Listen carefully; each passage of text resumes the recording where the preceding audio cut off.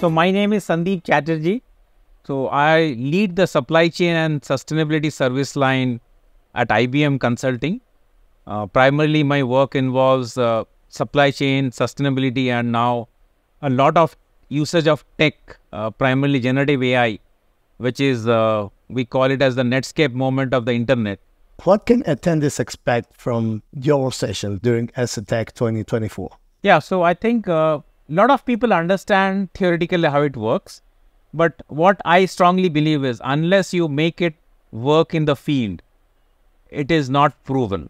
So I will be talking about a lot of use cases where it has been used because at the end of the day, knowing something is good. But the thing is, people should also have the confidence that whether it actually works or it, it's actually a hype.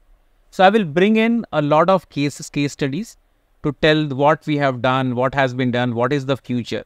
So that will give people more realistic expectation rather than talking theoretically because uh, we can go on theoretically, but unless when the rubber hits the road, I think that is where we know what are the teething challenges. So I would like to give a more practical view of Gen AI, which is doable, so that at least uh, people can take it to the larger ecosystem and uh, we can have a what I say a better supply chains going ahead.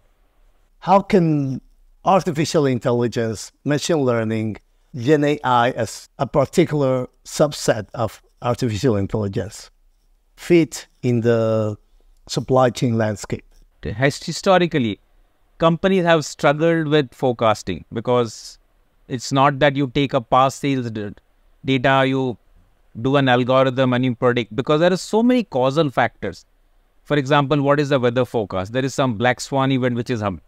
Like while the human brain will be able to process it, but the limited amount of time which we are given to react or respond, I think machines will definitely do a much better job. And even the kind of data which we are generating, if I have to process it in one minute, only a machine can process it. Human brain can they maybe process better, but it will need more time. So forecasting is an area which is actually very promising because right now if I say if you get a 60% accurate forecast, you are doing great and writing a better algorithm doesn't make sense. That's where generative AI can actually help us look at multiple sources. In fact, a very interesting uh, case which is done by MIT, for example, we always have to predict uh, if I have to do a new product introduction.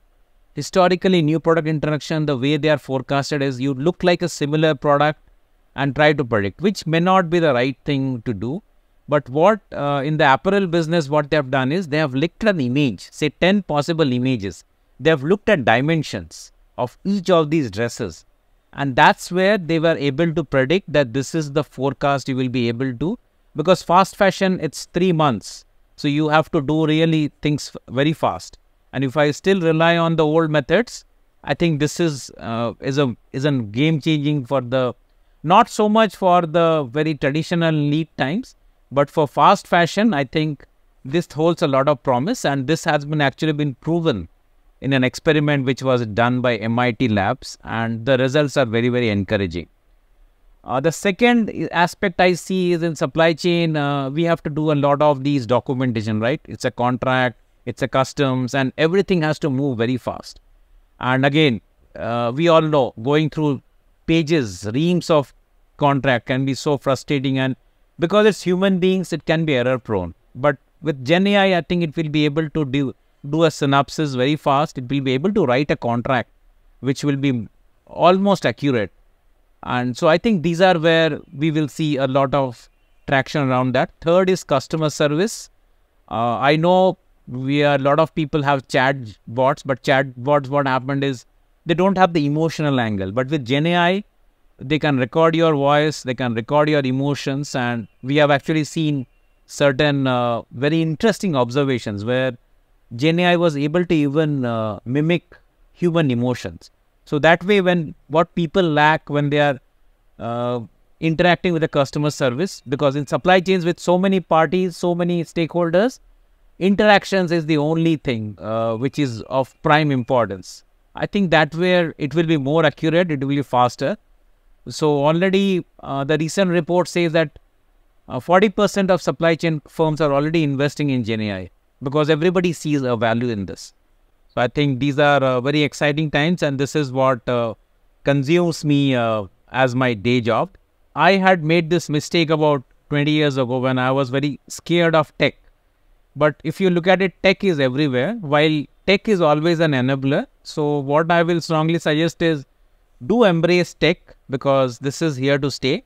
I'm not saying you let tech drive everything, but uh, we should have more have an open mind towards tech. I know there is a lot of concern around ethics, lot of concern around bias. That is the case with any new technology. But unless it is tested, unless proven, we will not be able to improve further. You look at the initial internet. When I used to send an email, it used to take me 30 minutes. Today it takes seconds. Same thing we will see. Uh, there will be pros and cons, but I think for everything in life there are pros and cons. But if we can take a more holistic approach, like what I will take, what I will not, I think we can make it a much better world. I think that is my only humble suggestion that tech is here to stay. Thank you very much, Sandeep. Thank you. Thank you so much.